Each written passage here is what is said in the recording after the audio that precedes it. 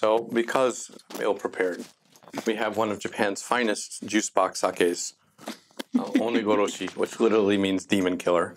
Oh God. This is one of the only things that they sold in the 7-Eleven and the or the depart the convenience store in the Tokyo Metropolitan Police Department. So I was on the night shift. It was like, well, you didn't pack anything. You had a choice of one cup Ozeki or maybe onigoroshi or maybe some of that like umeshu over there. Um, Sometimes we'd stock the. Does it have like an actual ume in it? Yeah, it does. That's that's a sign of super quality. So, plum blossom, not plum blossom, um, Japanese plums. uh, You want? Yeah, I probably need some ice for that. No, we probably need ice for a lot of this. All right, I, I guess you know, you you do the intro or Intro. Intro. What are, what are you talking about, Jake? So we are here in Tokyo. would you like to try some Japanese booze? I'll trade. Sure. Would you like some bourbon? I love some. All right. So we have a whole audience here tonight in Tokyo. First and foremost, I keep my promises. Oh, thank you very much. Lovely, nice pair of socks. I said on Twitter I was going to get Jake a pair of matching socks. I did so. It's good actually. I actually, I actually have many matching socks these days, but it's always nice to have one. For you, we're going to give you onigoroshi, um, one of the finest 100 yen sakes you can find in this country. So at current exchange rate, that is roughly 77 cents. yes, yes, yes, yes, yes. Um, I'm, I'm gonna try and puncture this juice thing. I'm not even drunk actually, and I'm still having trouble doing that because I don't have my glasses on. Here you are, sir. Why, thank you. And uh, I will teach you. You probably already know the Japanese way to say cheers. Kampai, yeah. Kampai. Did you know that the homonym for kampai actually means total defeat? It's different kanji, but same thing. Kampai. Kampai. Cheers. Jake, thank you for doing the show, by the way. I uh, how could I how could I res- how could I say no to Sherry? Yeah, I actually wanted to start off with how this came about. Go dozo dozo dozo. Um, uh, I can't pronounce her name correctly, so I'm sorry. Sherry, who's one of the finest uh, icons of milf porn in in you know in the modern adult entertainment industry, um, uh, wrote to me and she said, "Hey, my friend Matt Slayer is coming to Tokyo. Would you would you be doing a podcast for him?" And I said, "I would be delighted." Um, and uh, you know, as a as a fan of her work, and uh, you know, and it seemed so so kind of wacky and out of out of left field. Um, I was like, yeah, sure, I would love to do it. Um, it- weirdly enough, like uh, at the Daily Beast, Aurora Snow, who is just a delightful human being, who used to be a porn star, like moved to my hometown. So we've been writing for the Daily Beast for years, and she moved to Columbia, Missouri. So uh, she's also a good friend, and I don't think I've ever formally interviewed her, but over time, um, you know, got to learn a lot more about the adult en- entertainment industry. And then I listened to your show, which was uh, hilarious. Your your interview with Ms. Allure was just like really, really funny. She's really funny. Um, and she sounds like she's a good cook too. Um, and I'm looking forward to trying that one of these days, maybe. so I thought, you know, and you were very, you were very, uh, very polite, and you were like, I can adjust your schedule, and I'm like, I, you know, I can't give you two hours, but I can definitely give you an hour. And thanks for waiting, because um, over here is Shoko and Amy. We've all been working on this podcast about m- missing people called The Evaporated, and while we're doing this uh, podcast with you, I, I assume the, the the booze we have in here will all evaporate. These things happen on this show. It's been known to happen. It's a okay. I brought the bourbon to share. I wasn't planning to kill a whole bottle. Like, hi, Jake. This is the first time meeting me. I'm going to kill a whole bottle of bourbon in front of you. No, I, I after this I have some um, I have some concub- concubina duties to fulfill, so I can't get too drunk. Well, we're, we're gonna we're gonna make it weird right off the bat. What kind of whiskey dick do you get? Oh, do you know what whiskey dick in Japanese is? Would, would anyone like to? I, I'm sure you know the word, right? It's yeah, it's funyachin. So funya means like like weak and limp. What's onomatopoeias? Yeah, funya funya funya. So funyachin. So I don't know. You know, actually, I don't really drink whiskey that much, so I don't think I've I've really. Well, I think that applies to all booze enabled, Oh, oh, or in my case, I don't finish. Oh, so you have what is called retarded ejaculation. So you have a retarded ejaculation problem when you when you have too much booze. Yes. Uh, I didn't know we could call it that in 2022, but That is the technical word, unless they've updated the word to make it more politically correct. There's premature and there's retarded. So, in, in that context of, of uh, erectile dysfunction disorders, um, it, gets kind of a disorder, right? Because it's, well, never mind. I'm not, it's not my area of expertise, but I believe the term is still retarded. Uh, I will take your word for it. You were much more educated than I. No, I just lose interest. You know, I'm just, I just fall asleep. I'm a terrible drunk. Just make the missus do the work. It's fine. Pull, pull a JFK. I'm like, I'm like, call me when I'm, call me when I'm sober. I promise that I will not ruin you for the missus tonight. Thank you. Appreciate it. Though if you do it to yourself, I'm not going to stop you. taking it and pace it. No, just a, a little bit of a little bit of this, a little bit of that. Um, you gotta try the bourbon at least. I will try the bourbon. Is that I, you- There. isn't this? A, didn't I pour like umeshu into my stuff, or is that the bourbon? I don't think the umeshu is brown. It's actually quite close. Oh my god, that stuff is the harsh. So much of a bourbon drinker. Wow, Very nice. It's 94 proof. It's fine. Oh, Jesus. I'm gonna go have my my my pussy you may push you.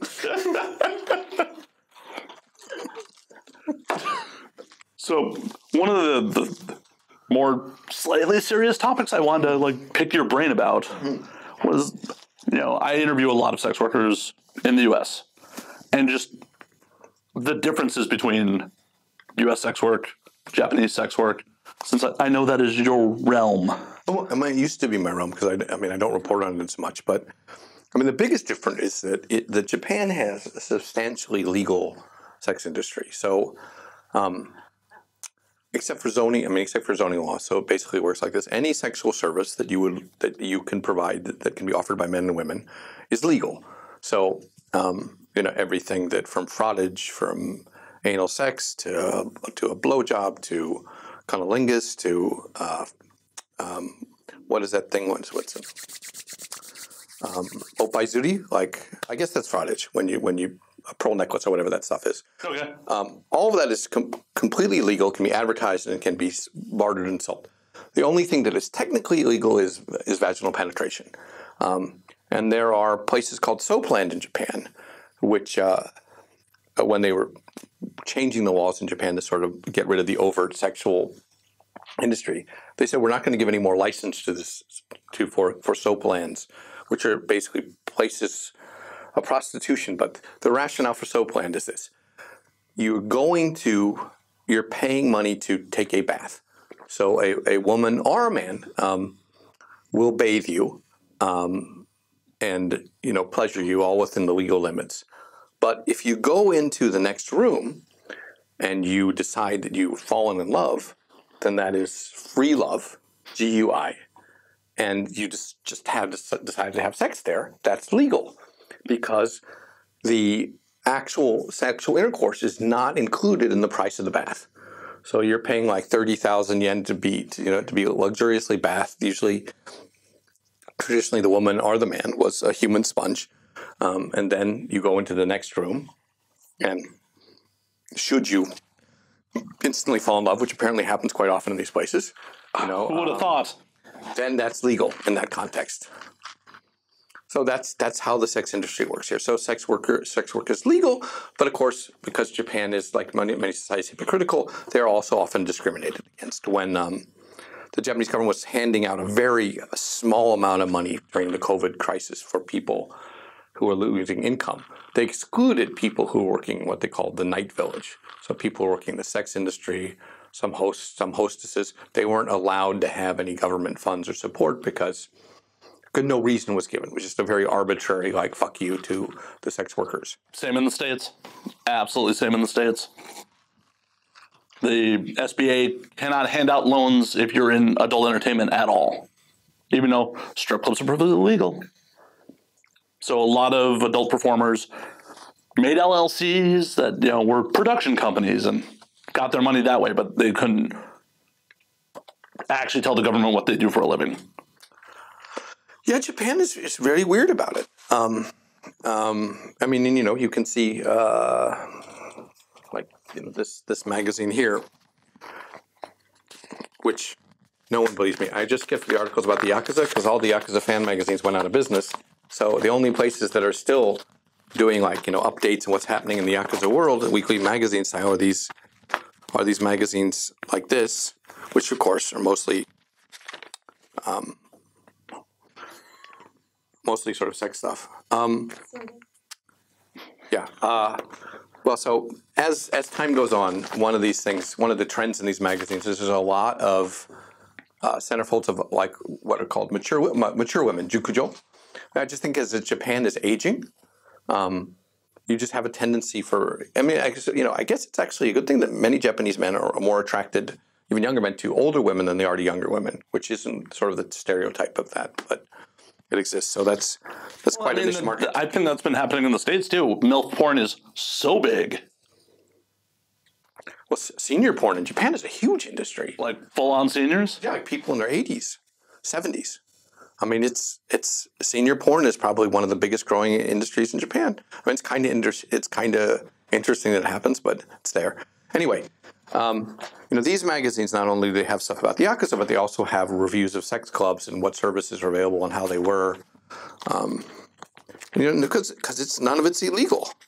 which is coming from puritanical America. That's pretty wild. Yeah, but you know, J- Japan is kind of like, uh, you know, while it's out in the open, it's also something you're supposed to be ashamed of. But it, this is also a country where, you know, well, you know, up to a couple of years ago, it was really possible for a porn star to go like mainstream entertainer. Uh, maybe not as possible as as as is, um, now as it was then. So does that answer your question? The the difference between sex work in Japan and the United States, the sex work here is mostly legal. Um, you can get in trouble if you if you um, solicit on the street. That is that can get you arrested. But the the prostitution laws in Japan, which are called the boshi the Baishun boshi ho, stipulate that it is illegal to sell sex, which is defined as vaginal penetration. Um, but there's no punishment for the woman, and there's no punish for punishment for the man. The only punishment can be for who would someone who serves as a pimp, or if it's a brothel and it's a brothel owner. And those laws were designed to actually protect women who'd sort of been sold into slavery by their families at the end of the Second World War, so that you know, so that if you felt sorry for this woman, you could go to the police and say, like, this woman here is like, you know, being forced to do sex work, and the police would take your statement, nothing would happen to you, and um, the pimp would get arrested and the woman would go free. So Japan's, you know, anti-prostitution laws are actually Japan's first anti-human trafficking laws. Where does pornography fit into that?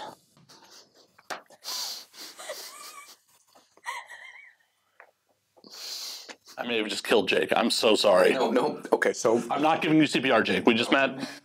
so pornography in Japan, um, there's something called the Aidin Kai. So there's like this, you know, there's this whole association that you know because yes, you can go pay and get a blowjob or, or you know or, or have sex at or have sex delivered to your house, but God forbid you actually watch unpixelated porn as it is. So that there's this whole giant industry and association. I think is the Adrian Kyokai that goes over every video and like determines like, you know, is it properly fuzzed out? You know, is it uh, you know is it pixelated enough to be acceptable? And of- and of course because it's the modern internet age, you know, there's always now like you know. There's the the released version of the porn, and then there's often like an unfiltered, uncensored version that sort of leaks out somewhere. Or ends up on the hub. Or ends up, yeah. The the hub for viewers who don't know. Do you know what the hub is? Of course I know. God damn, like you kids today. I didn't know what the hub was. I thought the hub was like referring to the that, that really shitty bar in Roppongi where they serve fish and chips. You know, there's like a there's like a hundred of those. They're- No, there's like there's like hoodies. Oh yeah, no. Pornhub has definitely has merch. Yeah. MindGeek has uh, done very well with branding. Yeah. Though I'm sure they'd like to forget at this point that they had Kanye host the very first awards. And made custom Kanye merch for it. And back in the back in the middle of like the whole internet like Bitcoin craze, there was somebody came up with Vice tokens, which would tokenize like adult viewing, and it was it seemed like a great plan. I wrote an article about that, but I don't think it ever came to anything. I'm sure it was an ICO that made some money for someone, and then Yes, yes. Initial coin offering. Yes, it was an ICO, Vice tokens. It sounded like a great idea to me. Like you would have people would get paid Vice tokens to watch porn, which they, they could cash in and pay for porn. It was like it, it was a kind of a Ponzi scheme, but it sounded kind Wait of. an ICO that was a Ponzi scheme? No, no, no. They don't. Never. No. Yeah, there have been many actually. Back, Jake, back, I- in, back in the days when I reported on that stuff. I, I'm shocked. I'm shocked. There's immoral people in cryptocurrency? No. Yeah, yes, you need to get your head out of the uh, out of that, you know, those X-rated videos and like, you know, read the news because you would be surprised. I'm illiterate. like, how am I supposed to read the news? I need someone to read it to me. Um, anyway, um, so I think what is the name of it? You know the place like DM is like the biggest porn company here, right? Like they had like DM Coin or something. I can't remember the name. You've never seen the ads? Okay. There's a company here. I forget the, the it's one of the biggest companies in Japan that people don't know about called DM or something, and they make like virtual 3D porn, like you know you know, with you need 3D goggles and everything. Yeah, the, the and they porn that everyone hates to make. and then they and they bring in like a million dollars a month on that stuff because people will still pay. Um, so it's a huge industry here, and uh, But does it fall under separate laws from prostitution? it yeah because it's it's performance, right? It's performance, so therefore it's not Well, sex work. But that, that's the wild part about the states. Is everywhere but California and New Hampshire, porn is technically illegal because it does fall under prostitution. Oh, I didn't know that. Wait, so the major porn industries are California and California. New Hampshire. New Hampshire doesn't it so New Hampshire legally no one no one shoots in New Hampshire. No one shoots there. But they put Wow, wow, wow! I see a business opportunity. I'm like full of can worms. Why It is is- nobody? It's It's a live free and die free. Yeah. So California California is legal to make pornography from a 1981 state Supreme Court ruling. okay. New Hampshire actually voted it on the books.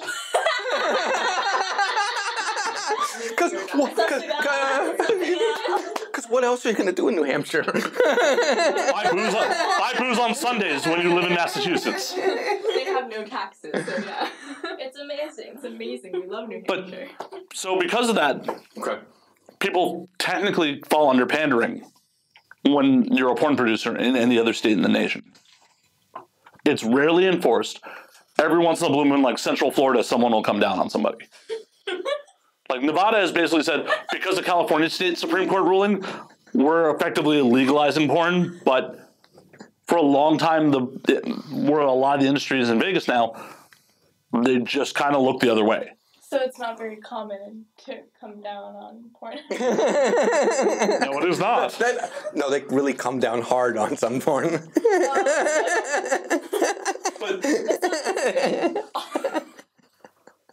So what happens if stuff is released that isn't pixelated here? uh, you can get arrested. Um, when I was covering Kabukicho in from 1999 to 2001, you know, there was with, with great fanfare. They would announce like, you know, we raided place today and seized, you know, 1,000 unpixelated porno videos, and this money is probably going to organized crime, which it probably was.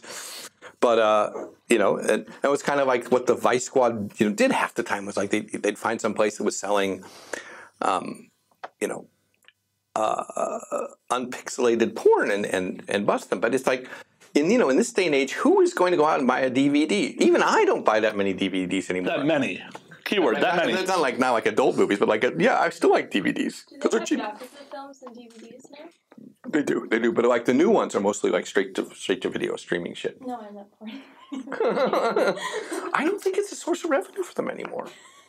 So was porn a source of revenue for them? For, I mean, because people would pay huge amounts of money, especially if it was like you know a well-known, well-liked porn actress, and someone had like the you know the uncut copies.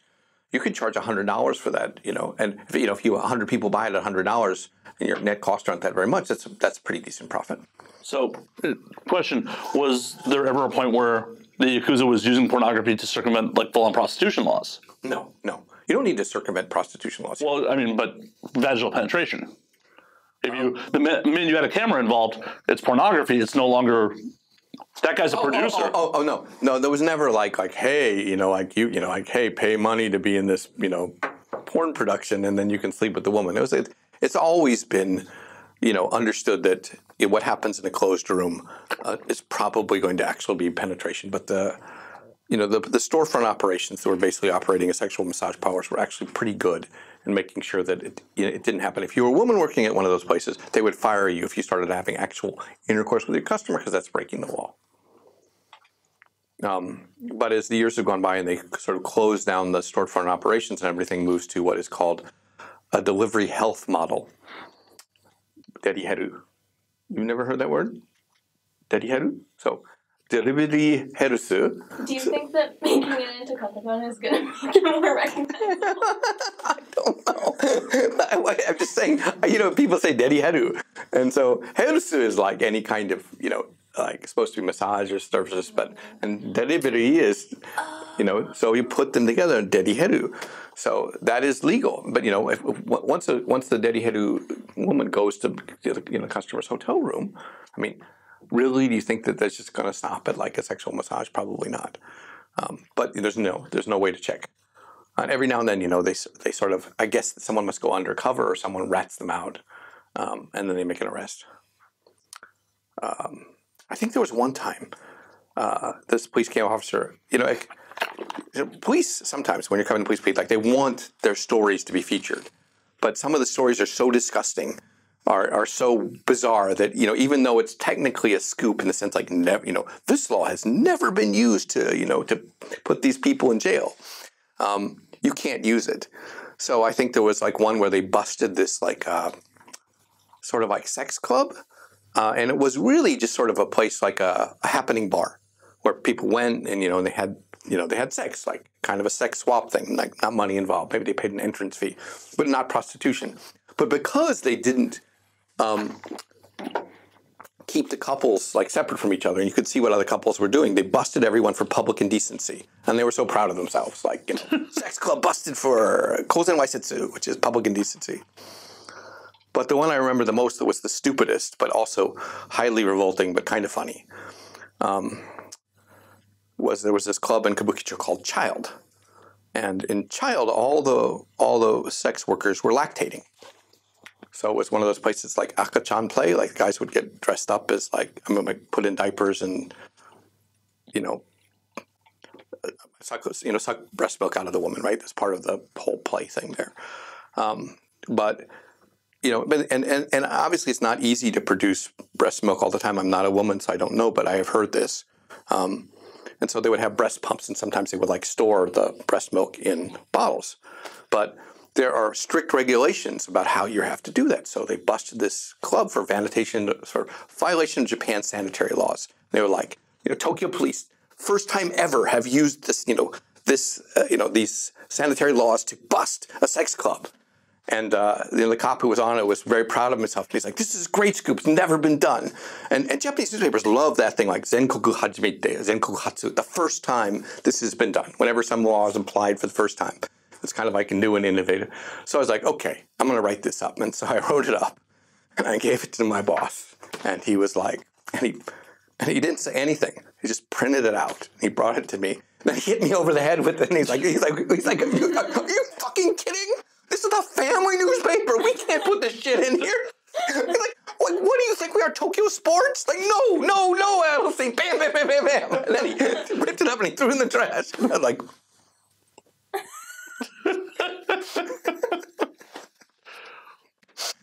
Whoops.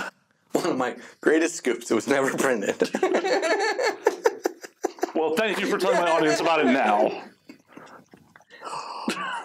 That is re goddamn ridiculous. Like, did the place eventually reopen? Uh, I'm sure it reopened. It's, it's a very minor crime. I don't think anybody went to jail. I mean, I think they, I think they arrested him, held him for a couple of days. They confessed, yes, we did not properly store the, the breast milk, and from now on we will. And yes, Where do you think your life would have been if you were known as Jake Adelstein, the guy who wrote the breast milk?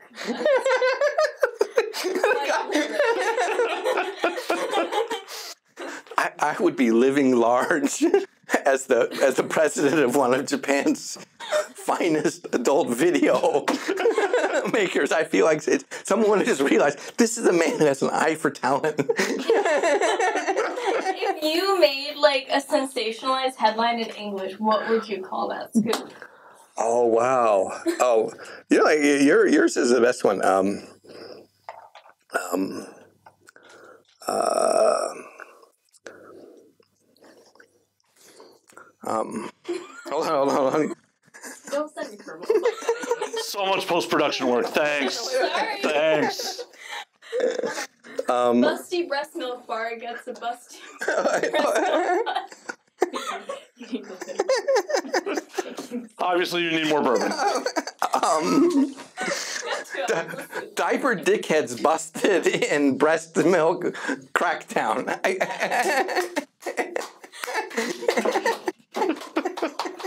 May I have some bourbon, by the way? Absolutely. I feel like I need to drink more for this. Is that my cup of ice? That or No. You can just put it in there. perfect.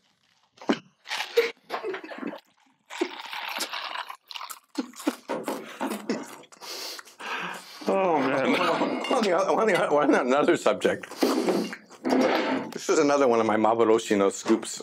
So, in Japan, these kind of like swingers bars are called happening bars because something's always happening. So,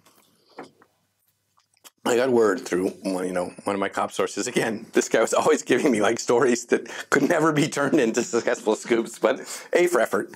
They're uh, like, We're going to bust this happening bar and it's going to be a big story because there's a famous wrestler who's going to be there. And I'm like, and I'm like, and I don't know anything about wrestling. And I'm so, so who is the wrestler and why are you going to bust him? And he says, well, because he's giving a, a sex seminar where he's actually going to have sex with the customers, just public indecency. And I'm so, well, so what's the wrestler's name? And they say his name is Choco Ball Mukai. And I'm like, Choco Ball? Because like there are these little chocolate balls. Have you ever had them? They're like like peanuts or something in them, you know. And and when he was a wrestler, he became a porn star. But apparently, his testicles, and as I was later at the scene when they arrested him, are actually very brown, like a chocolate ball, which is where he got his name, Choco Ball Mukai. So I went there. I had my article ready to go in, and um, the police busted him. And in like something like out of this novel called The Painted Bird, which I read once, like he he was like when the cops busted him, he was so scared that he could not dislodge himself from the from the woman he was like humping doggy style. Like I mean, he could they like I mean like literally they had like calling like paramedics to do something to separate the two. It was the weirdest fucking thing. And so I wrote it up, and and and once again, my my boss was like was like no, Adelstein, no. I'm like, even though he's famous, no, this is just not for our for our paper. And then the next day, Tokyo Sports was like their top headline: Choco Ball Mukai busted the hopping bar. And look at this, look at this. I'm like, look at this. Like that could have been our scoop. I gotta say, that guy is an MVP of male talent. The fact that he could keep it up as the police are raiding the place. No, not only. I mean, I, I think he locked. He locked in place. Yeah, but most people when they fail just whoop. Um, I, you know, I heard, I, I you know, uh, sometimes supposedly this happens with animals, like dogs, like like they panic and they have trouble separating them. But I, didn't- know it could happen with human beings. It was really weird. I mean that. All my years, I've never seen that one, but I I don't think I've ever seen anyone really be panicked or. Yeah, no, no full-on arrests during sexual intercourse that I can remember. Okay, that's that's those are the the, the great classics uh, scoops I could have had if my newspaper just had a little bit a little bit more courage and a little less taste. Actually, a lot less taste. Um, Well, just think, in the internet era, you could be writing a blog about it. well, I mean, you have to wonder what is the point of busting people for you know for uncensored pornography in an age where it's so readily available. I mean, even in Japan, they can't censor it out, they can't filter it out. Yeah, you can just go to any website, uh, any any of numerous websites, and you can get unfiltered Japanese porn if you feel like you know you you want to see both the genitals and the octopus. You know, Well, why are the antiquated laws still on the books? Why? Ah, because because if you remove them, a lot of cops have nothing to do. I mean, it's just status quo. Uh, someone once said to me that in Japan, there's only th- things are if you things are only done one of two ways. It's always been done that way, or it's never been done that way. And since it's always been done that way, and it's always been unacceptable, um, then they won't change the laws. Um, there was this weird period of time when I started on the job when they were talking about hair noodle, and hair is like hair. So uh, some photographer published a photo of like Miyazawa Rie, uh, this really famous actress, and she was completely nude, except you know she had hair covering up her genitalia, so you couldn't com- see the naked genitalia, and, and that was considered okay as long as there's some hair covering it up, so you can't see too much. I mean, that, that that- was acceptable. that's the classic Playboy move. really? Look at Playboys, even in the 90s, you never saw like an actual vagina. You just saw the fuzz. I just thought that was the fashion at the time. No, that was to keep it a men's magazine, a gentleman's magazine. See, I learned everything. I'm, I'm so glad I was on this pod show. I just thought it was like, you know, just thought hairy thing was the, the, the thing at the time. Because the U.S. struggles with its own puritanical bullshit. It does. But as you as you can see from here, I'll pass this over to you. You can see that it's pretty hairy. Yeah, that that is uh, pretty hairy. Is. it is indeed. One and, and the Bush is definitely making a comeback in the states too. So Really? That would. You know, that, I mean, because I, I wasn't out of the states out of the states for many many years, right? So I was living in Japan. So the first time, um, I know that my daughter's never going to listen to this, so it's okay, it's fine. Um, the first time I like I saw someone with like a complete Brazilian, I was just like like what? I was like, what? What the fuck? Like, what? What? What? Like, what? What is this? And they're like, oh, it's like everybody in LA does this, and I'm like, I'm like, I'm like, it's like you don't don't you like it? And I'm like, uh, it's like like you look like a child. Like I don't want to have sex with a child. It's really weird. But apparently, you know, that's was the thing in the states. So I mean, here I think a little bit of hair is considered normal, and none at all is considered abnormal. I mean, you can like all things, you can get used to it. But the first time someone who lived abroad for a long time I was like, "Like, wow, that's really a little much." I mean, it's like a porn movie kind of thing. well, and hoping that the wife never listens to this, can you lead it? Ex-wife. Oh, ex-wife. Okay. Can we? Can you lead us into the story of how you encountered said vagina? No, I can't because she's a really good friend. Absolutely not. Absolutely not. You don't have to tell us who it was. No, no, no I'm not gonna tell. I'm not gonna tell. Um, uh, all I can say is a really good friend, and you know, weirdly enough, like you know, when when I was in college, we ran into each other in in uh, at a at a Mr. Donuts here in Tokyo, and then we stayed in touch. And then you know, years go by, and one thing's lead to another, and and you know, that's was in I think it was in Las Vegas. I was surprised. And obviously, what happened in Vegas didn't stay in Vegas. No, no, because you know the relationship continued for a while. Everything, everything, nothing stays in Vegas, right? I mean, the only thing that stays in Vegas is uh, you know the people who screw up and are buried somewhere. That's about it. And they keep finding them in Lake Mead. Oh yeah, yeah, yeah. As it dries out, Yeah. They just keep finding bodies. it's like the past, like emerging like a ghost. yeah. I mean, why spend the effort to actually bury someone when you can just tie weights to them and throw them in the lake? I heard this really gross story about the about how about how actually most bodies, if you even if you tie weights to them and you throw them out of the river, they will float up. The the ability of the human body to fill up with air and gas as it putrefies is amazing. It was just it was for this podcast. I read this book called "The Corpse Knows," and he was talking on and on and like you know sort of like this chapter about like yeah bodies float up man. You can weigh them down they'll float up. And he said he said I could tell you exactly how much weight you have to use to keep a body from floating up but I'm not going to. And I was like oh come on. That's such a tease Dr. Wayno oh, come on. Well, I could tell you but I'm not. Oh come on. I, I would like to know. Right? Right? I, I was always told that you had to dismember them, and that helps with not floating up.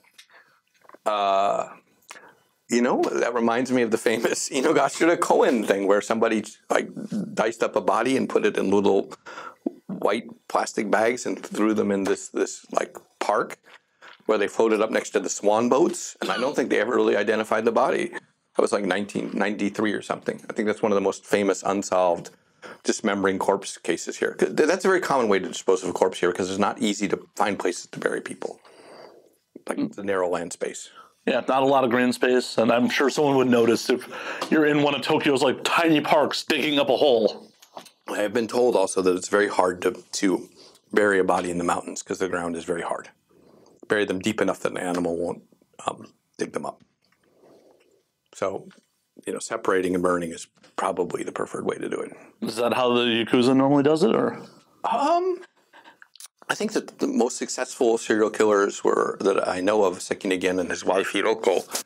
Um, they would uh, poison their victims, um, usually by giving them like a sports drink, like a stamina drink, and then they would take the bodies and um, cleave off the meat and feed it to the to the animals in their pet shops. Then they would pulverize the bones and burn them, and they were pretty successful but um, occasionally they would make a mistake like forgetting to like leave a lighter behind or a piece of tooth or something. Um, but yeah, that seems to be the most the easiest way to do it. You have to separate the meat from the bones, then pulverize the bones, and then burn everything. And it's pretty hard to find the body once you do that. Um, Aum Shinrikyo, this crazy killer cult that spread um, poison nerve gas on the subways in 1995.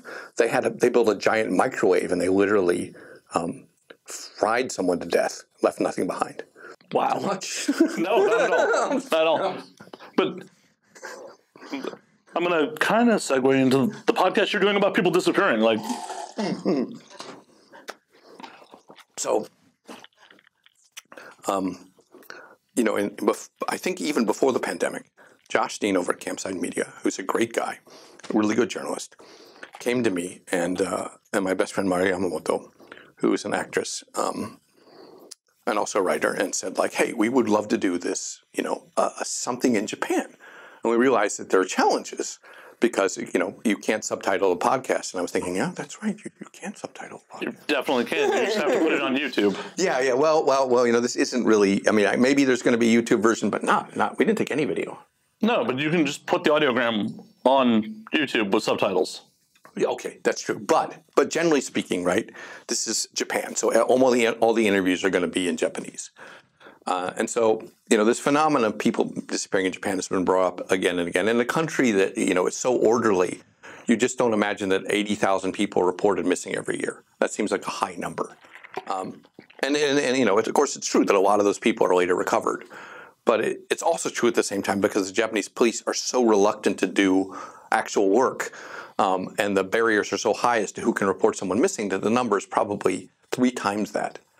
Um, so it's kind of a fascinating phenomenon because there's no one answer. There's all these different reasons that people go missing, and, and a lot of people um, go missing on purpose. Right? They want to re- restart their life, and this being Japan, there are manuals that will tell you how to do it. You know, um, uh, here, here, here's a here's a pop quiz for you. You won't know the answer because it's really an unfair quiz, but um, Try me. Okay. The six six things you need to identify yourself in Japan, uh, forms of identification: um, family registry, um, local registration, um, your personal seal, a registration of your personal seal, your driver's license, and your insurance card.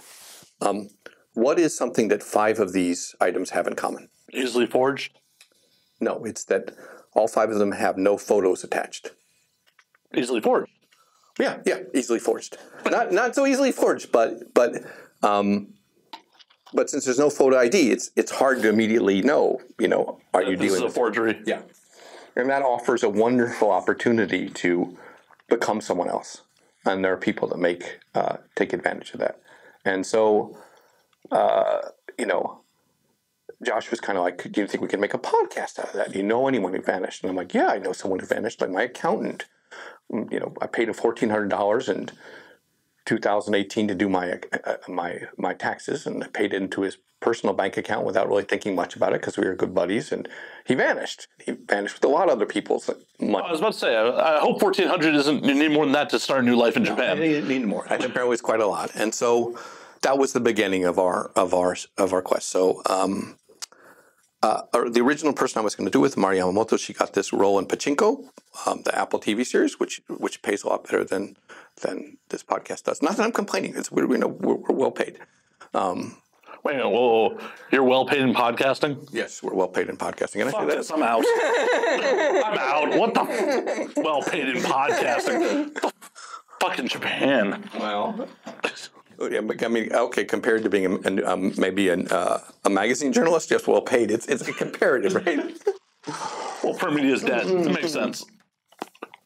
And so, um, Shoko, you know, had just moved back to Vermont, and she's like one of the few people I knew had journalism experience. She was bilingual. She's, you know, she's charming. She's intelligent. I know that she's uh, secretly a hard worker. Um, and I'm like, I'm like, I'm like, you know, I'm like, how, you know, she just got back to Vermont, like literally the day she got back. So I like, I'm calculating the time, and I'm like, it's probably like three in the morning your time, and I'm like, hey, Shoko, like I know you just moved back, but there's this great podcast that Sony is going to be doing, and there's there's money for it. It's a good salary, and you know you'll never have an opportunity like this. I know you just moved back. Would you consider coming back to Japan and working on this thing? And to my surprise, she said yes. And it, it turns out that uh, I, well, she can't really talk about all the details. That her family was once on the run and like left her home state and moved to Tottori Prefecture, which is kind of you know, sort of the Vermont of Japan. Is that a way to? is- Can I call it the Vermont of Japan? Am I am I overstepping my boundaries? sister cities. Oh, So it's it's known for cheddar and maple syrup. Precisely. yeah, the best cheddar and maple syrup in Japan. But no, but it's it, it's a it's a famous for um, this comic book author Mizuki Shigeru, who wrote about you know uh, creatures and ghosts and demons that would make people disappear in the middle of the night. And so in this podcast, we have gone after my accountant and tried to figure out why he disappeared and um, and the circumstance surrounding his disappearance. And and you know as long, as long as you're doing, we've also followed other people who vanished and looked at the whole infrastructure that allows people to disappear as well, and some very strange cases of, of people being kidnapped. Um, many of them off the coast of Niigata, but I don't want to give that away. But you know, this is a strange country. Strange things happen here. I mean, it's very peaceful, but when people vanish, I mean, sometimes you're like, is this even real? What's the percentage of violence versus people wanting to just disappear? Wow, I don't think we have no conception of how much of it is, is violence. I just don't. We just don't think we know. I can give you, I'd say, uh, most recently, seventeen thousand of the eighty thousand people in the year who were went disappearing had, had were dementia, so they wander off. Um, there was another figure that said that was the twenty twenty one figures. There was a uh, about sixteen thousand of those people are teenagers, often young girls there's a huge number of people who commit suicide. Uh, at least you know three to five thousand of those people. Um, there are other people who who probably are professional criminals who just you know don't want to get caught and take a new identity. They get married or they get adopted and change their name so that their past crimes can't come back to haunt them. So, how often of the people that do commit suicide do people steal their identities? That I don't know. Um, it would be relatively. I think when someone, when someone, when someone commits, oh well, if someone commits suicide and they don't have any ID uh, when they're when when they're found, it's probably pretty easy to to steal their identity. I never really thought about that. Um, there's a lot of people that uh, kill themselves and, and have nothing on them. So we talk to people who work at hotels, um, and you know, sadly, it's very common for it's, it's unusually common for people. We know you all hear about the suicide forest, right? I mean, that's far. It's a pain in the ass to go to. Um, but hotels here don't ask for ID. So if you really want to bump yourself off, not that I recommend it, um, you can check into a hotel and just sign your name and, and, and write down a phone number, and there's no checks. And, and Is that still the case? Because for foreign nationals, you have to present a passport now. yeah, you do, because you're a gaijin. I had to pre- present my passport fucking twice. Yeah, welcome, welcome to Japan, sir. If you're Japanese, I, I remember we were talking to this hoteler, uh, you know, this woman who worked in the hotel business for many years, and you know, it was almost with like mischievous glee. She was like, "Oh yeah, you, of course, you have to present a pass, you know, a passport and ID, but not we Japanese." I was like, "Well, excuse me, I had no idea." So it was, you know, kind of illuminating.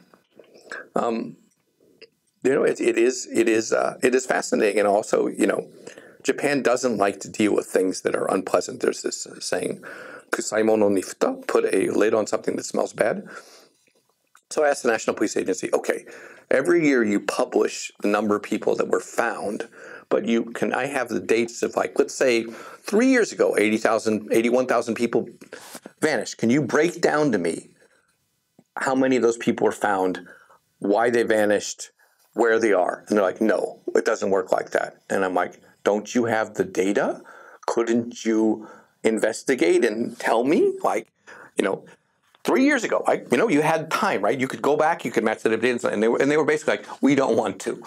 That's awesome. That's the Japanese police. That sort of stuff is wild to me because, like, I feel like anecdotally, whenever I encounter people in Japan, it's like everyone else takes serious pride in everything they do. Mm. It seems that way. They take okay. You could argue they take pride in what they do, and that's and therefore they don't want to fail. So every case you take of someone who is missing, um, especially if you treat that as a as a serious what they call a special missing persons case, where you feel that they may be in danger, or they might harm themselves, or they could be in harm's way, um, and you don't clear it, that looks bad on your um, on your record, and so it's much easier not to do something and not fail than it is to do something and possibly not succeed. That's why you know Japan has a 99% conviction rate, right?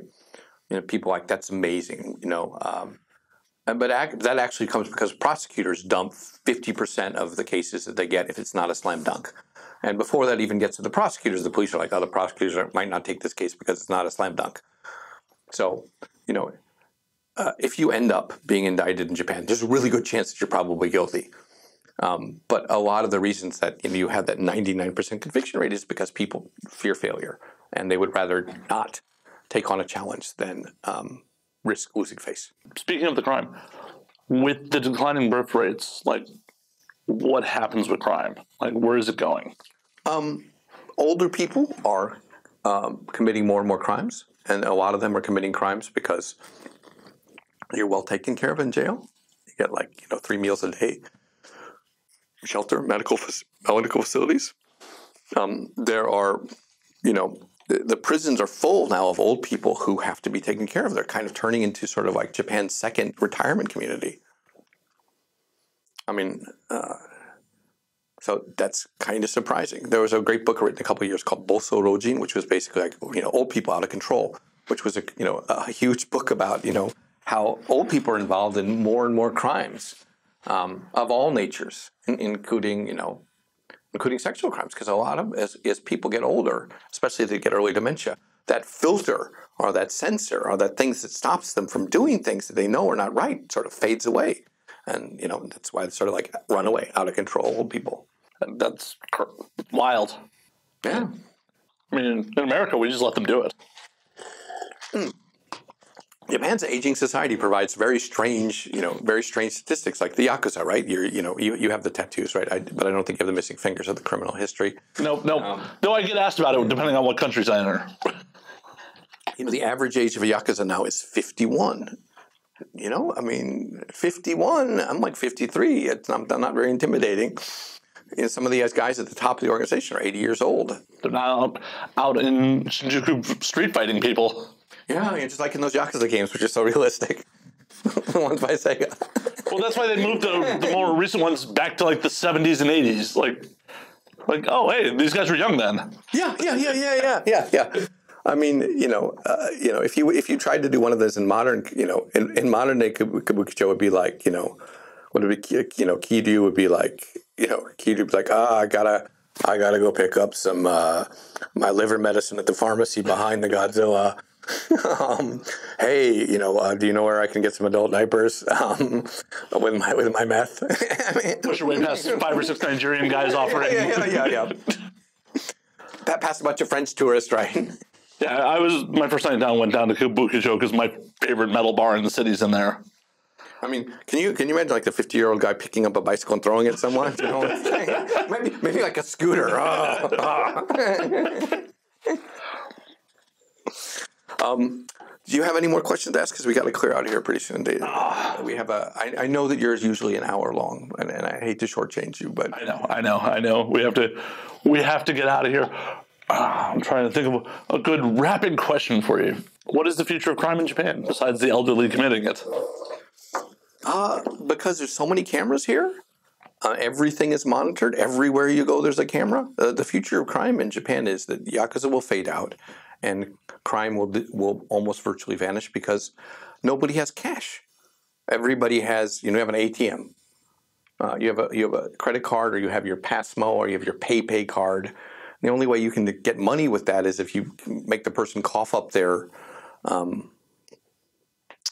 cough up their, their number that allows them to use it. So petty crime doesn't pay. Um, you know, the, the kind of crimes like street crime and um robbery and theft will become much less. Even though a couple of weeks ago someone stole my wallet out of my out of my gym locker at my bougie gym club, which which which flew in the face of all these nice things I've been saying in Japan for years. Like you know, oh my, I lost my wallet many times and it came back. And, and what hurt the most?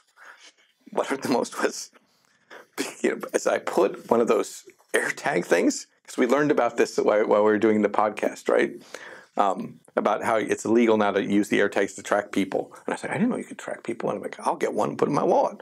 So I put it in my wallet, and I got this notice I was on the treadmill uh, that my wallet like was moving. And I was like, you know, rang my wallet, and then you know, then it stopped. And so I went to look for it, and uh, uh, you know, couldn't really find it, and uh, eventually sort of you know got one of the one of the guys at the desk and we were looking around and we tracked it to this giant like basket of towels. And so we went through all these wet towels like sweaty towels and there at the bottom was my air tag my wallet had been taken but they tossed the air tag in the sweaty towels. And i thought okay this isn't the japan i used to know and love. Someone has stolen my wallet and to top it off is throwing my air tag in a bunch of sweaty towels. So that's adding insult to injury. But still, but still, I, I, mean, I immediately canceled everything, so they can't have gotten much except for the little cash that was in there. Uh, there's not going to be a future in, uh, for criminal organizations in Japan. Um, Japan's one law away from completely outlawing them and making them unable to do business.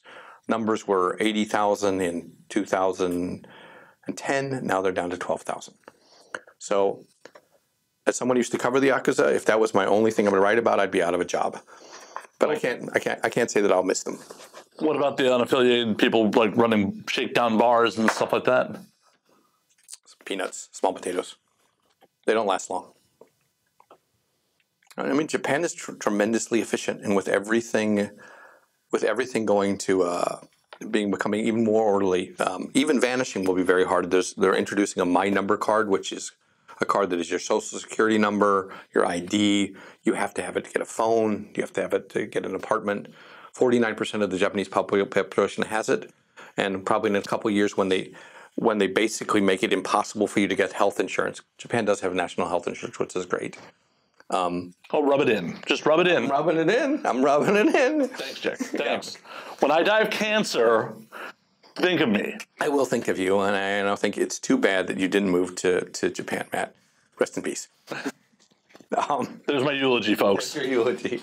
You had the chance. You knew that there was a place where you could, you know, there's always Canada, but uh, I'm un- I'm uneducated, sir. They don't want me either. Uh, you know, half of Japan is now locked into this system. When the rest of it is, uh, it's you know, it's going to be very hard to to fence things as well because you'll have to show your my number card, right, in order to pawn something. Um, and you know, everywhere you go, that card will track you. Mean, you know, every purchase you make, they'll know where you are. It's kind of a China model. Um, so I think the future of Japan is is bleak. Um, as a crime reporter, I'm just glad I'm like you know that it's it's 20 years away. This is going to fade, so I can still live off the the remains of a criminal empire writing about that stuff, but it, it won't last long. You don't think they'll figure out something new? Not really. I mean, don't you? I mean, I've got friends who work in the FBI's like organized crime unit, and I mean, basically, they're always hurting for something to do. I mean, how many how many countries have you know? Okay, there's Mexico, but the United States, how many like really big organized crime groups are that have influence? I mean, you know, the, the, maybe they've got you know handling waste disposal or something because the world is too too secure. too easily monitored, too many cameras, too many ways to track people.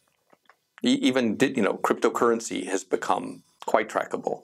Um, everyone thought that Bitcoin was like you know untraceable, and it turns out to be the most traceable of all. Right? Uh, talk to Tigran Gambaryan, the the blockchain wizard. You know.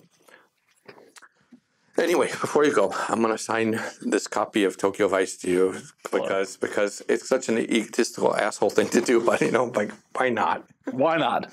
We'll get it. You're signing it on camera. And while you're doing that, Jake, Yes. why don't you tell the audience where they can find you? Oh, that is so nice of you. I will I will try and I will try and sneak in a plug for you or your show somewhere along the line, somewhere when I have a chance. Um, Well, I, I hope you'll promote this when it comes out. I will. I will. Uh, I will. I, and He's on and I- camera, folks. He is on camera fucking saying that. And I am sure that Sony Music Entertainment will love it. Um, the fuck did you do? um, What, you got a cease and desist from Sony? Another one? well, you know, the world is full of darkness and, and, and, and things. And, you know, and this, this program, The Evaporated, is also focusing on, you know, given the choices of killing yourself or um, escaping, to escape is probably the courageous thing to do. So there is a positive message in all of this. Um, you can find The Evaporated Gone with the Gods, Kamikakushi, everywhere and anywhere you listen to your podcast on Spotify, on Apple, on Audible. And if you really feel like listening to them anytime, all the time, go to getthebinge.com or whatever that thing is and you know subscribe. Or can they find you personally on the socials? Oh, on the socials, you can find me on Instagram at at Tokyo Vice, the name of my first book. You can find me um, uh, on Twitter with the difficult to find at Jake Adelstein. um, and uh, maybe there will be some kind of Twitter feed for this thing along the way. So those, were, if you want to find me on social, that's where you can find me. Please don't find me on Facebook because I will ignore you. Wow. Jake will just ignore you on Facebook. I will. I have. I have. It's like I have too many friends. Oh my god, Jake has too many friends, folks. Too many friends on Facebook. It's like, please don't friend me. I, I can't handle any more friends. He's too popular for you. Do not look him up on just, it's, Facebook. just, it's just such a pain in the ass to deal with that stuff. I understand, Mr. Popularity. Thank you for taking your time, bringing me to your fancy social club to do this podcast. I did give you the finest booze. I, I killed it. I killed it. and as always, you can find me at Matt underscore Slayer on Twitter, Matt Slayer on Instagram, Matt F. Slayer on Facebook, because I will respond to my fan Facebook page. Twitch.tv slash Matt F. Slayer, the Patreon, home to the exclusive content and the uncensored content. Sorry, no nudity in this one, folks. At patreon.com slash Matt Slayer. We're supposed to have nudity on this one. Do you want me to just hold up the magazine again? It can happen. I, I, don't think Sony's going to appreciate you getting naked for me, Jake. yeah, I guess that's true. I don't think anyone would appreciate that. Um, I, I appreciate the scoop. I don't care about the mail form. thank you for having us on your show. My pleasure. My pleasure. And you can always find the podcast at and now we drink on Twitter and now we drink underscore on Instagram. And until next week, drink up, motherfuckers. Come by.